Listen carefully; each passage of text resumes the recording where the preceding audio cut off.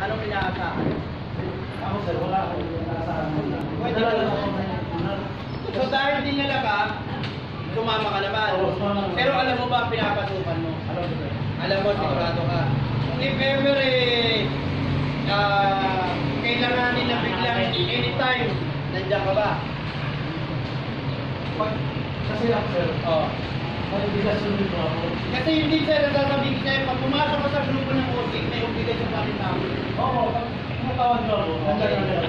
Ang bawa ba, kinailangan biglang operation eh, nandiyan ka na eh. Pwede ka ba? Kahit sabihin natin, medyo mailagay yung buhay sa alanganin. Opo, sanay na po ako. Narinig ko mga Alright. Okay. Thank you, thank you. Thank you, sir. Welcome. Opo. Next. Ngayon, ganyan naman gagawin natin. Bawat papasok, Oo, para alam nila yung ano, yung sitwasyon nila. Yung katungkulan ba? Sige, harap ah, harap sa camera.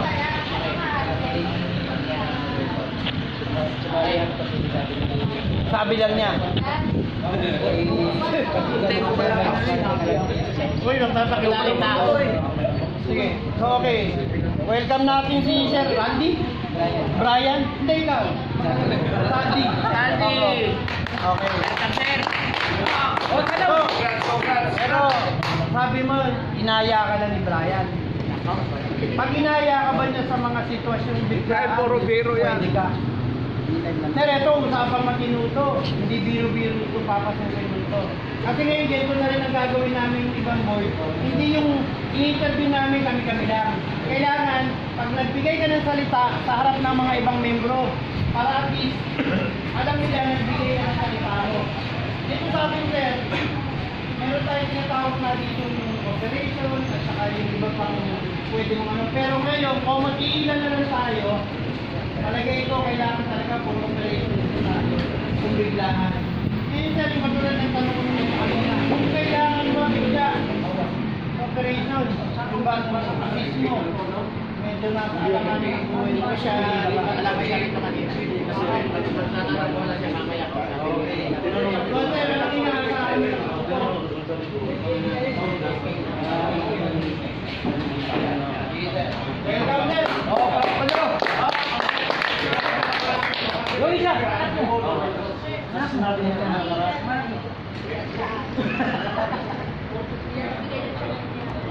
Ikaw, yaya ka na yaya. Eh, ah, walang problema yun. Nasa mabuting kami si bro. Oo. Hindi ka tulad dati. Nasa ano. Garden yan. Nasa 19 yan. Welcome bro. So ganito lang ah, yung mga bago, yung mga bago. Gusto mo pumasok. Yung, yung mga may responsibility kayo sa organization. Alam niyo ba kung saan tayo nakatak? Sa CIDG po. So may mga may mga time kasi na ano, kaya nga, i-welcome namin kayo, inaalam namin kung sino yung nag-refer sa inyo, kung sinabi ko sa inyo, kung ano yung participation nyo.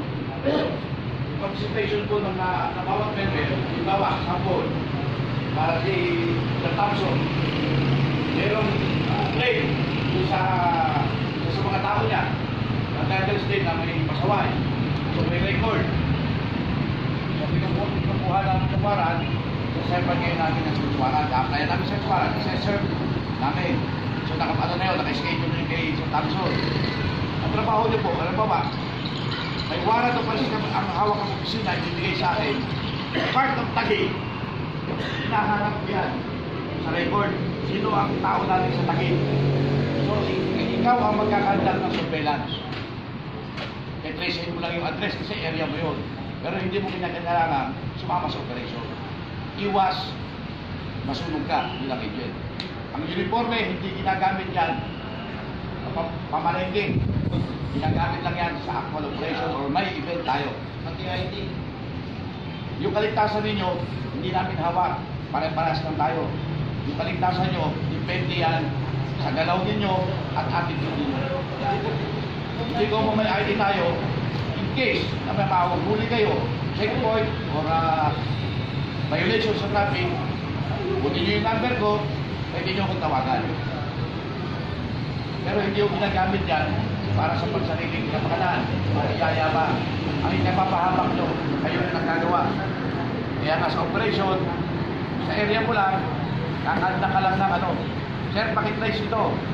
Itong address, makunan mo ng ah, yung din address, makukunan mo ng tipo yung tao, kunan mo. Yun lang ang trabaho. Nakasigilyan ka lang doon. Hindi ka mag-union mo. At saka yung, yung pagkatao ninyo, sabi nga, di ba, kahit na sa asawa mo, kamag-anak mo o kaibigan mo, hindi mo dapat niyayabang yan. Kasi, at yung kwento, lumaki yan, lumalaki, baka mamaya doon sa area mo, eh puta, tiga sa inyo yun. Eh na-operate sila, hindi naman ikaw. Ikaw ang tatamaan. So, nagkakaintindihan tayo. Yung responsibilidad namin, gagampanan namin sa inyo, pero yung responsibilidad ninyo, para sa kaligtasan nyo, nasa sa inyo yan. So, nagkakaintindihan tayo. Ang dagdag ko sinabi ni Sir Woods, responsibilidad namin kayo as long as tama ang ginawa nyo. Pero kung hindi tama, babalansin pa rin natin yan. Hanggang tama, nandiyan tayo. Pero kung alam nyo hindi tama yung ginawa nyo, mali kayo, nyo nang itawag. Dahil na- ngayon ngayon pa lang, nag-uusap na tayo na doon tayo sa tama. Intindihin nyo mabuti ang pangalan ng musik. Ngayon, kung kinonsinti namin yung maling ginawa, hindi na tayo anti-corrupt. Nangungurap na rin tayo. Parang gano'n na yun. Tama. By the fact na tinatama mong mali, pangungurap na yun. Hindi lang pera ang saltang kurap, hindi lang sa saltang pera. Tapos, iilan-ilan na lang tayo. Puro, sabihin natin ito, kung meron yung iba hindi naka-attend. Ah, pinakamaganda dyan, gawin na natin ugaling maging update tayo yung dapat meeting, meeting, pumunta tayo. I-update na lang natin. Pero advice ko sa inyo ha, hindi lang tayo, tayo dito, ang pinakapasaway dito. Pero ang probinsya natin, ang 4A natin, ang Region 3 natin, ang Region 3 natin, at gang abroad natin, active lahat. So hindi lang tayo dito ha. Oo, iliwanagin Mga bago, meron tayong abroad, makikita niyan, magpapasok kayo sa GC. Alam niyo na ba yung GC natin? Yun na ba? Wala nang Nasa GC ka ba? Apo, sir. Idagdag Wala lang. kang GC, wala kang cellphone na may ano. Iyan mo kayo ano, iyan mo ka Excel, sa isang Idagdag ko lang sa inyo. Para na monitor nyo. Inyo, this coming November kung matutuloy kami, i-welcome natin sa atin yung bagong usig Cebu. Dahil naghihintay na lang sila doon Ano na lang siya, oh. kung parang i-haharapin or tatanggapin natin sila na membro natin. Pero meron ng certain bilang ng taong naghihintay doon na para maging kung ano man trabaho natin, gagampanan nila doon. Pag halimbawa ang subject natin umuwi ng Cebu, sila ang tatrabaho doon. Sila ang feedback sa atin dito, sir, nandito positive. Yun ang trabaho ng mga ibang membro natin nasa probinsya. Kaya gawin natin, maging habit natin na, or ano natin na mag-attend tayo. Huwag na natin, ano, kasi non-stop pa rin yung ginagawa namin na tanggalan ng tao. Kasi huwag ang bumagsak ng sasampu lang kami o tayo. Hindi natin kailangan maging marami kung wala rin namang kwenta o hindi makakatulong. Kasi ito lang ang point ko mga kapatid. Yung iba nag-e-effort na pumunta rito, bakit sila hindi? Anong pinagkaiba? Diba? Kung talagang gusto, minsan may, meron nga tayong salita, di ba? Pag gusto, walang rason. Pag ayaw, pati rason ng kapitbahay, ginagawang rason. Tamo walang rason. Kaya pag may meeting, dalawang beses lang naman yan eh. First week of the month, second week of the month. Eh, second Sunday of Ah, second Sunday of the Last month. Sunday of the month. Pero yun ang ano lang naman eh. Second so, and fourth. magagawa natin ng ano yan. Magagawa natin ng paraan yan. So, nag-uusap tayo, alas 9, umapa, uma, maaga ang quorum, marami, kumpleto, maaga tayo matatapos. Hindi naman napakarami ng pag-uusapan eh. Ina-update lang kayo sa pangyayari sa grupo.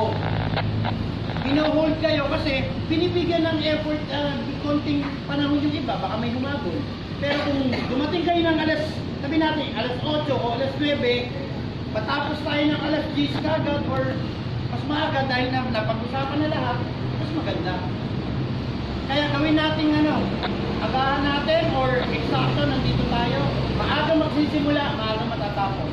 Anong oras tayo nagsimula? Kaya inabot tayo ng itong oras. Sa GC ka na sa GC ka na.